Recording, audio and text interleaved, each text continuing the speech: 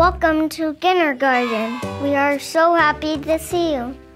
After your parents drop you off, you can say hello to our amazing teachers. You'll learn a lot in kindergarten. Kindergarten taught me that I'm ready to grow, I'm ready to learn, and I'm ready to lead. There is a lot to do at school. We get to play on the playground.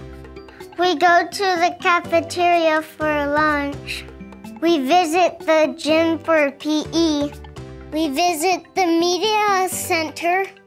We even get to go to music. And we go to art class too. If you fall down or your tummy hurts, you can visit the nurse to feel all better.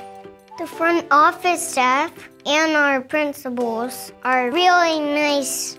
Hello, future Cardinals. I'm Mrs. Broadley, the principal of Centennial Elementary. And I'm Mr. Verville, the assistant principal. We are so excited for you guys to be here next year to join us in kindergarten. We're going to teach you how to read, how to write, how to do all kinds of math, and we have a lot of fun. You get to do some music and movement and have a great time. Can't wait to see you next year, future Cardinals.